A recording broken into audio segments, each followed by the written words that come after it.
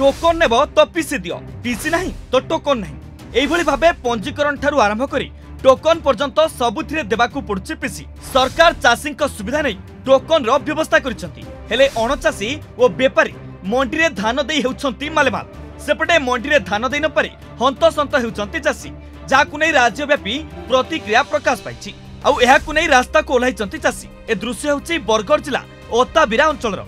ধানর অভাবী বিক্রিকু নেই ଆଜି ଚାଷୀମାନେ ବରଗଡ଼ ଜିଲ୍ଲାପାଳ ଅତା ବିରାରେ ଥିବା ଜାତୀୟ ରାଜପଥକୁ ଧାନ ବସ୍ତା ପକାଇ ଅବରୋଧ କରି ଆନ୍ଦୋଳନ ଜାରି ରଖିଛନ୍ତି ଚାଷୀଙ୍କ ଅଭିଯୋଗ ରହିଛି ଯେ ବରଗଡ଼ ଜିଲ୍ଲାରେ ଟୋକନ ଜରିଆରେ ତିନୋଟି ଆର୍ଏମ୍ସି ଅତାବିରା ବରଗଡ଼ ଓ ପଦ୍ମପୁରର ଶହେ ଅଣସ୍ତରିଟି ମାର୍କେଟ ୟାର୍ଡରେ ରବି ଋତୁର ଧାନ ପ୍ରକ୍ରିୟା ଚାଲିଥିଲା ଚାଷୀମାନେ ପ୍ରଥମରୁ ପଞ୍ଜୀକରଣ କରି ଅନ୍ଲାଇନ୍ ଜରିଆରେ ଟୋକନ ମଧ୍ୟ ପାଇଥିଲେ କିନ୍ତୁ ଧାନ ମଣ୍ଡିରେ ନିର୍ଦ୍ଧାରିତ ହୋଇଥିବା ତାରିଖ ଆଗରୁ ଚାଷୀଙ୍କ ଟୋକନକୁ ରଦ୍ଦ କରି ଦିଆଯାଇଛି ଯାହାଫଳରେ ଚଉଦଶହ ସତେଇଶ ଜଣ ଚାଷୀଙ୍କ ଟୋକ ଲେପ୍ସ ହୋଇଯିବା ସହିତ ହଜାର ହଜାର କୁଇଣ୍ଟାଲ ଧାନ ଅତାବିରା ଭେଡେନ୍ ରେଶମ ପପଙ୍ଗା ଥୁଆପାଲି ଆଦି ବିଭିନ୍ନ ମଣ୍ଡିରେ ପଡ଼ି ରହିଛି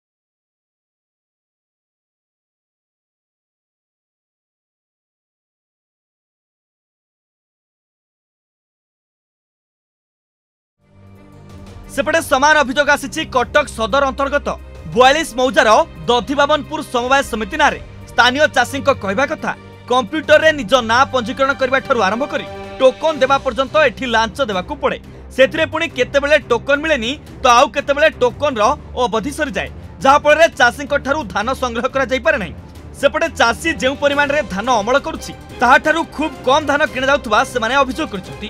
ଅନ୍ୟପଟେ ଲାଞ୍ଚ ନେବା କଥାକୁ ଖଣ୍ଡନ କରିଛନ୍ତି ସମବାୟ ସମିତିର ସମ୍ପାଦକ ସୁନୀଲ ଦେବତା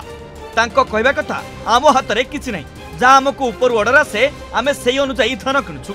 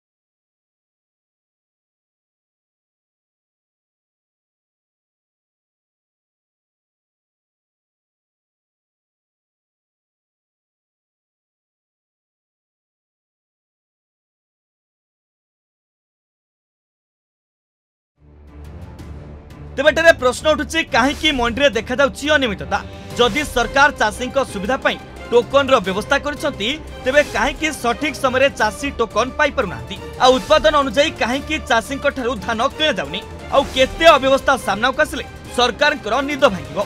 ବରଗଡ଼ ଅତାବିରାରୁ କୌଶିକ ମାକୁଡ଼ଙ୍କ ସହ କଟକରୁ କ୍ୟାମେରା ପର୍ସନ ସୁବ୍ରତଙ୍କ ସହ ବିଶ୍ୱଜିତ ଦାସଙ୍କ ରିପୋର୍ଟ ତର୍ଗଜ ଟିମ୍